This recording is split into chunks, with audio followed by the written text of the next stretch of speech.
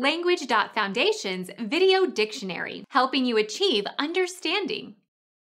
A person who takes part in an armed rebellion against the constituted authority, especially in the hope of improving conditions. Insurgent, insurrectionist, rebel.